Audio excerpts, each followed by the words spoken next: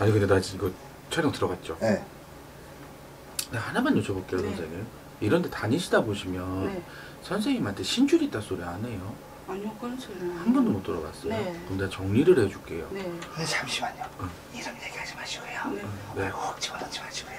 네, 정리를 좀 해드릴게요 왜냐 선생님도 내 사주가 네. 어떻게 보면은 남들처럼 편안한 사주는 아니에요 네. 어떻게 보면은 내가 분명히 나도 사람이고 나도 여자란 말이야. 네.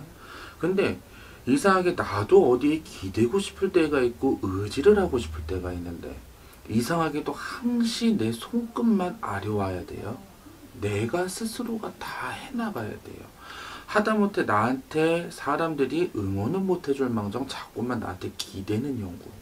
그리고 또 하나는 이상하게도 나는 분명히 내 이 본 사주를 놓고 보면은 성심이 착한 사람인데 약한 사람인데 이상하게 우리말로 치면 유리 멘탈인데 이상하게 삶이 자꾸만 나를 강하게 만드는 그러한 형국이라 그러시거든요.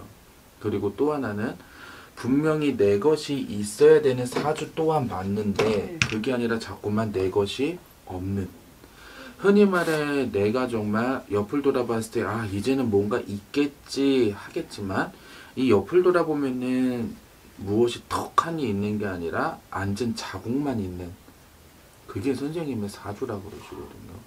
음. 그렇다 보니 선생님이 항시 외로울 수가 있어요. 그렇다 보니 항시 내가 지칠 수가 있어요. 나는 분명히 열심히 살아왔는데 이상하게도 뭐 하나 나한테 남는 게 없을 수가 있어요.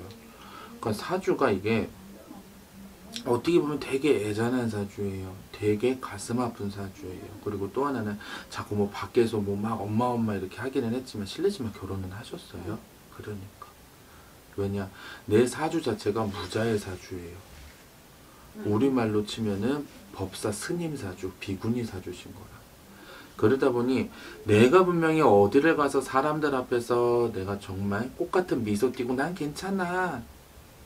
억지 춘향 미소 띠고는 있지만 내 속은 항상 골아 있어야 되는.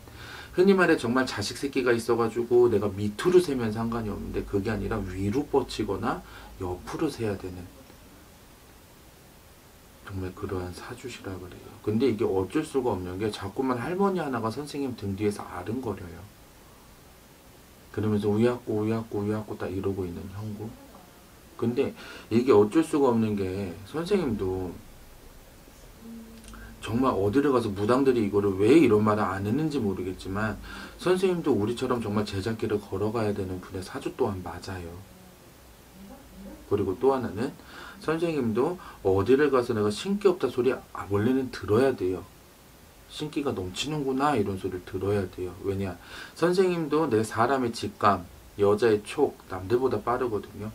흔히 말해 내가 여우바가지처럼 살 수도 있어. 충분히 아 이 사람 저럴 것 같으니까 이렇게 해줘야지 이 사람 저럴 것 같으니까 이렇게 해볼까 충분히 살 수도 있어 근데 내 마음에 그게 싫기 때문에 그래 내가 그냥 곰처럼 살자 그래 니네가 날 그렇게 이용을 하면은 그래 나 또한 니네 그래 큰 소리 나기 싫으니까 뭐 하기 싫으니까. 이러면서 내가 나를 자꾸만 누르고 누르고 누르고. 그래 좋은 게 좋은 거지.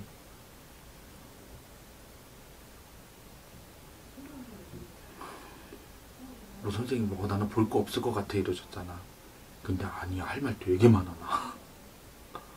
그렇다 보니 이게 내 스스로가 나를 절제를 하시고 조율을 하시는 건 참 좋아요. 근데 다만 너무 억누르지만 마세요 나를. 선생님도 악하고 소리 지를 수 있는 사람 맞아. 어디 가서도 내가 당당하게 나 이래. 니네가 잘못한 거잖아 나한테. 이럴 수 있어. 근데 그럼 뭐하니? 그럼 뭐하니? 하면서 내가 자꾸만 누르잖아요. 정말 흔히 말해 선생님 사주가 이부릇이 없어 힘든 사주도 아닌 거라. 먹을 게 없어 힘든 사주도 아니에요 그렇다고 돈이 안 들어와? 아니야 돈은 들어와 근데 자꾸만 이게 내 조상 수위에서 내 신명 수위에서 선생님을 항상 가둬둔단 말이에요 그렇다 보니 이상하게 사람이 따라 들어도 별거 아닌 걸로 자꾸만 찢어지게 되고 하다못해 내가 이제 뭔가를 좀 해볼까? 뭔가를 막 내가 모래성을 쌓았어. 근데 하룻밤 자고 일어나니까 싹 파도에 흩어져 내려가 있고. 어떻게 버티셨냐 그래. 물론 내가 직업이 직업인지라 극한되게 말씀드리는 것도 있어요. 근데 다만 이상하게도 선생님이 쭉 살아온 과거를 보면 이상하게 내 부모가 있다고 해도 내 부모의 사랑 당연히 받았지. 안 받고는 태어날 수가 없죠. 근데도 선생님은 홀로서기를 해야 되는 사람. 아무리 내 부모가 재벌이라고 해도 선생님은 자수성가를 해야 되는 사람.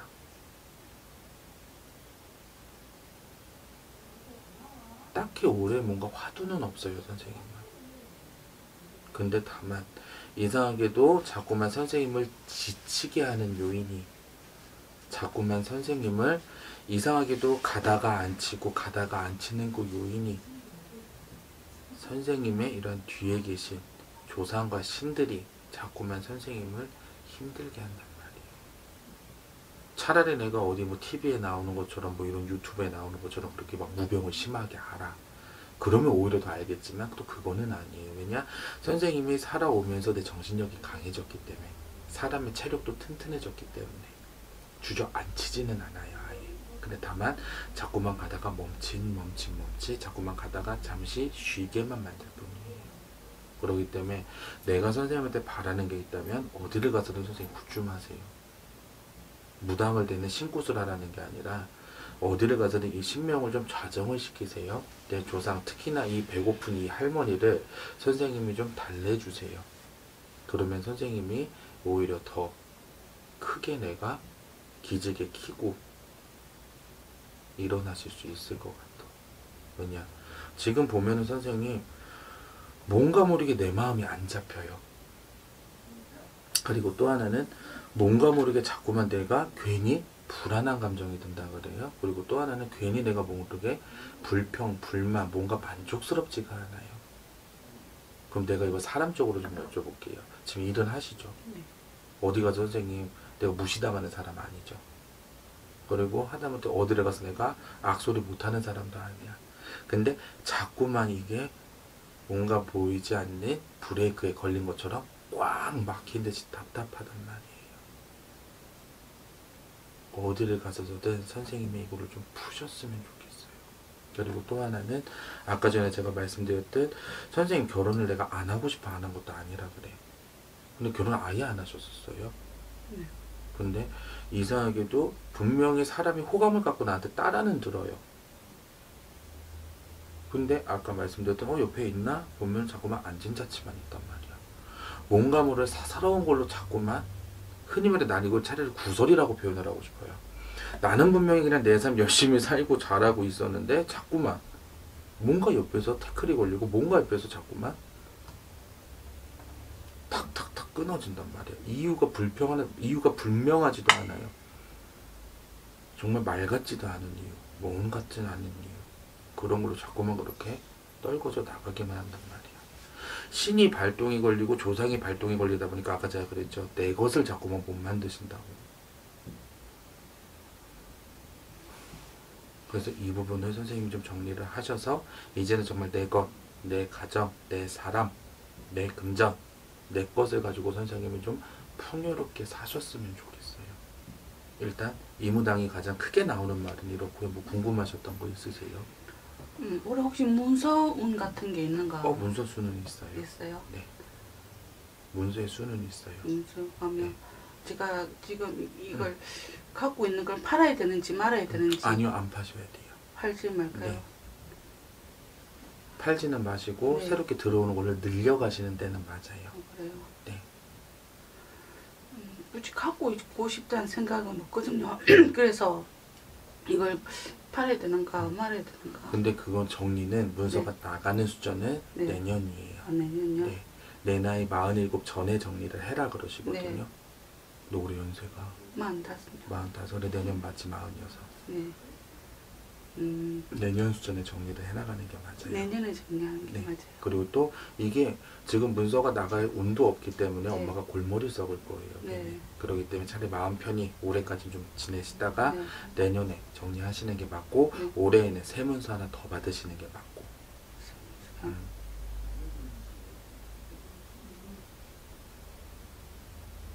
사무실은 어떤 거지?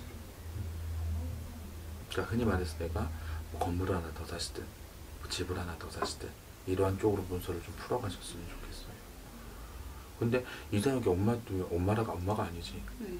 이상하게 선생님도 지금 일적인 걸 놓고 봤을 때에도 원래대로라면 내가 내 모습 잡고 흔들어야 되는 사람이거든요. 네. 내 사업을 한다든가 장사를 한다든가 뭐를 한다든가.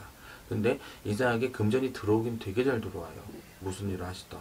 실례지만 지금 무슨 일 하세요? 좀 일- 그냥 작은 가게에서 일하고 있어요. 어. 근데 이상하게도 나한테 금전은 잘 따라든단 말이에요. 근데 네. 이게 따라드는 만큼 잘 세기도 해요. 그렇기 때문에 문서에 묻는 게 제일 이시죠. 그리고 또 하나는 아까 제가 말씀을 드렸듯 이상하게 엄마도 이렇게 성심을 보면은 사람의 이런 본 마음을 보면 악한 사람은 아니에요. 정말 맑으신 분이에요. 근데 이게 어쩔 수가 없는 게 선생님도 남매가 내 형제 동기가 어떻게 보면 원래는 내 다섯은 있어야 돼요. 근데 지금 어떻게 되세요? 다섯 명 있어요. 그러니까 네. 내 다섯은 있어야 네. 되는데 왜 그 중에서 둘째, 셋째가 누구예요? 제가 셋인데요. 그러니까 둘째, 셋째한테 신줄이 타고 내려와야 되는 집안이라 그래요.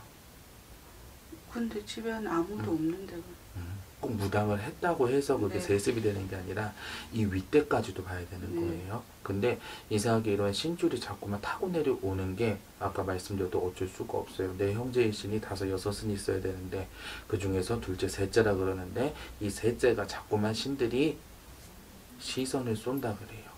그렇기 때문에 선생님이 어쩔 수 없이 내가 자꾸만 스님처럼 우리 제자들처럼 외롭고 뭐하고 자꾸만 내가 어디에 팍 하니 뛰어오르려고 해도 뭔가 보이지 않는 이 쇠창살 없는 감옥에 있는 것처럼 내가 튀어오르지를 못한단 말이에요.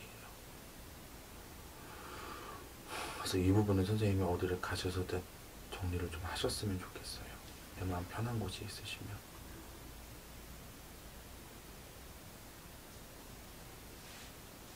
그래도 그나마 선생님은 내 뒤에 계신 분들이 양반인지라 크게 표출은 안 하시는 거지. 막 풍비박상 나고 막 몸이 아프고 그런 건 없는 거지. 그러면 그냥 이대로 그만 무난하게 넘어가는 거예요. 무난하게 넘어가실 거는 있죠. 근데 이게 어떻게 탁하니 다리 걸 줄은 모르기 때문에 네. 미리 왜 암이라는 것도 그렇잖아요. 처음에는 증상이 없어요. 근데 이게 중기를 지나 말기가 되면 개복도 못 한단 말이야. 근데 이게 팍하니 튀기 전에 음. 정리를 하시는 게 맞으시죠. 어디를 가셔서든. 음. 왜냐면 염려스러운 거니까. 이제 정리만 하면 아무런 그쵸. 큰 탈이. 없죠. 오히려 정리를 하시게 되시면 아까 말씀드렸듯 내가 이제 내 것을 꾸려 나갈 수가 있는 거고 만들 수가 있는 거.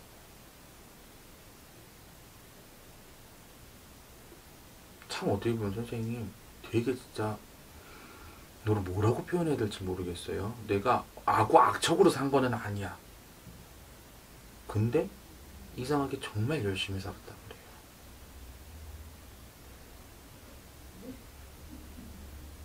열심히는 살았어요. 충분히 내가 못되게도 살 수 있었는데 아니지 이건 아니지 이러면서 정말 아름답게 열심히 살았다 그래요. 그러니까 아쉬운 거라. 분명히 이만치 올라가 있어야 되는 사람인데 아까 말씀드렸듯 이 보이지 않는 것 때문에 요만치밖에 못 올라온 거죠. 그래서 이거를 걷어내고 쫙 끌어올렸으면 좋겠다 이거예요.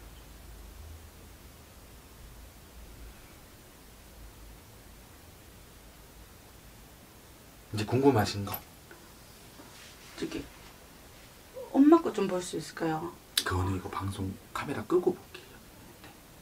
음, 그러면 그런 네. 거 있잖아요. 사람들 보면 네. 첫인상 있잖아요. 네. 첫인상 딱 봤을 때, 어, 저 사람은 복이 어디 들어서 복이 들었지, 막 이렇게 말하는 사람들 있잖아요.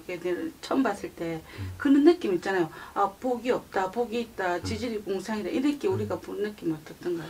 선생님은 복은 있어요. 복은. 예. 근데 아까 말씀드렸듯 복은 이만큼이 있지만 음, 이 보이지 않는 것 때문에 쭉 못 올라왔을 뿐이에요. 음. 그렇기 때문에 이것만 없애자 이거예요. 네. 네. 잠시만요. 사장님.